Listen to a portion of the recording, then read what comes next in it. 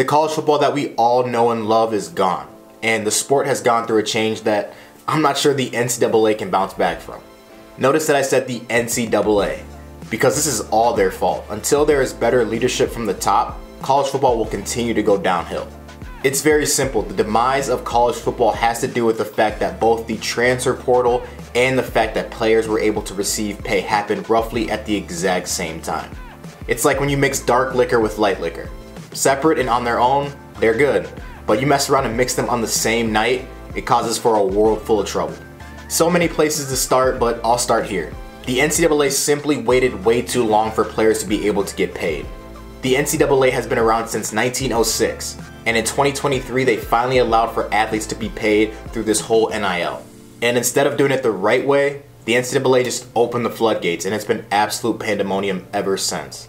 So this was like the NCAA trying to make up for half a century worth of mistakes with just one swoop. So instead of just turning on the faucet and letting the water run a little bit, they went straight to the ocean. What I mean by this is there seems to be absolutely no structure whatsoever. The NCAA, they broke the glass, they pressed the red button, and all of a sudden, guys were getting paid life changing money. I want to say I am obviously for all the players getting all the bread that they can. A guy like Caleb Williams should be living in a penthouse in LA while playing for USC for everything that he does and brings to that university. But I also believe that there should be structure. And again, this should have been done decades ago so that they could have eased their way into it and this thing could have been done the right way. For example, and I don't have all the answers, maybe the NCAA could have created some sort of pay scale where universities can pay athletes based off how much revenue that sport brings in. Just as a starting point. Because I reiterate, just as a way to ease into things, because the NCAA just said, all right, athletes can now monetize their name, image, and likeness, and it was just like throwing meat into the lion's den. Because by doing it this way, the NCAA turned into the exact thing that they were trying to prevent for all these years, which was ultimately ruining the authenticity of the game and programs and universities just willing to throw money at players in order to just buy their best athletes. And I'll double back, but I now want to add that second point. Now combine that with what is now the transfer portal. Because for years before, the NCAA was just worried about programs just buying the best high school recruits at 17 and 18 years old. Before, guys just couldn't get up and transfer whenever they wanted to. So now teams, instead of having to bid for a guy at 17, 18 years old who you still have to develop and still has to pan out, they can go spend money on a guy who's 20, 21 years old, already developed, already proven, which has done two things to this game. It has incentivized guys who are doing well to leave their situation at one school in hopes that the grass is greener on the other side. And it has diminished the importance of high school recruiting. I repeat again, in some ways I am just plain devil's advocate. I am a guy who benefited tremendously from the early stages of the transfer portal, and I am all for guys getting paid. But we just saw former Oklahoma quarterback Dillon Gabriel transfer to Oregon after the Sooners went 10 and 3, in which he threw for 3,600 yards and 30 touchdowns. I'm sure he did exactly what was best for him and his family, so I'm not knocking him, I'm just using him as an example. You win 10 games and you have an amazing stat line at one of the blue blood powerhouse programs in all of college football. We can speculate all we want, but it's safe to say that he was probably getting paid extremely well. It doesn't get any better than that. We are in a world now where in 2024, in regards to college football, that's still not enough.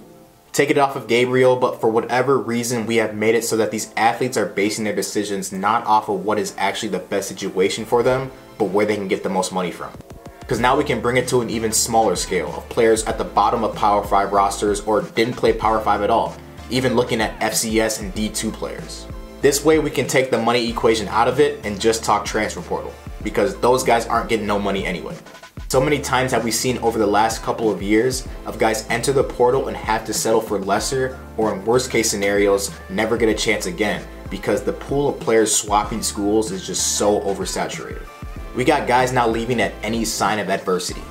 Don't play right away? Leave. Get your feelings hurt? Leave. Another player comes in at your position? Leave.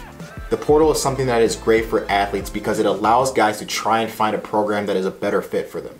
Guys make decisions on where they're going to go for the next four to five years at 17, 18 years old. They shouldn't be binded to that. Just how coaches can get up and leave for another job whenever they want. But these kids and parents should be educated on the transfer portal and how it should be used. It shouldn't just be used as a scapegoat when things don't go your way. Which brings me full circle back to my point on how the NCAA has become absolutely everything that they tried to prevent. I see why Nick Saban retired. Coach was like, yeah, y'all got it. This is no longer the game that I love. I'm gonna take my rings and get up out of here before it gets really scary. It seems like the NCAA has just accepted the fact that it will never be the same. Because don't even get me started on how dumb all these conference changes are. I may sound like an old dude and I could be 100% wrong, but USC and UCLA are joining the Big Ten. What are we talking about? The heart of the Big 12 and Oklahoma and Texas have now joined the SEC. I talked about the facts, but let's talk about the eye test, just what we see within college football. We can simply say that the game itself has been watered down as of lately. What happened to the importance of true rivalry games? What happened to the hype and build up all week when there was a marquee matchup between two powerhouse programs? I'll go as far as to say where are the legends of the game anymore? The last few Heisman winners, tell me who they are and give me their quote unquote Heisman moments. That aura that surrounded college football is no longer. It's what made the game so much different than the NFL and why people love to tune in on Saturdays.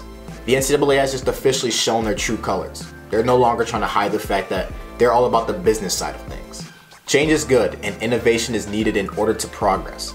But it just seemed like the NCAA was trying to fix every single problem at the exact same time, and it's just a cluster of chaos right now.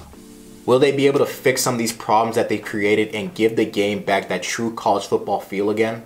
Probably not, but we can hope a solution comes to some of these problems before we lose the game that we love for good.